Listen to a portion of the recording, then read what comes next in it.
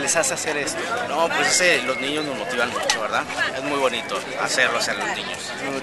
¿Han realizado esto varias ocasiones atrás? Sí, sí, tenemos años- varios años haciéndolo ya. ¿Como cuántos años llevan?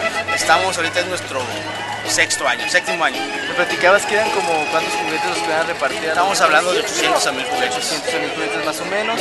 Y les van a dar un boletito a los niños. Les damos boletitos, esperemos que todos alcancen.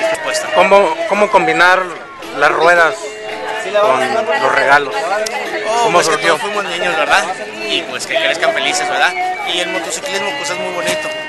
Es una cuestión para que el motociclismo nos, el motociclismo nos une.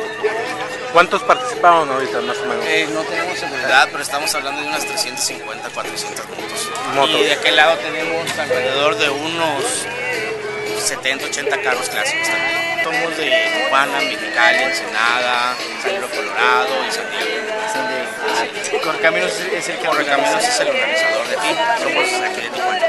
Eh, ¿Qué te gusta de estar con los compañeros? Convivir con ellos este, y apoyar más a la niñez. la niñez, que es lo importante. Eh, te, te vas a poner a repartir regalos? o- Sí, juguetes.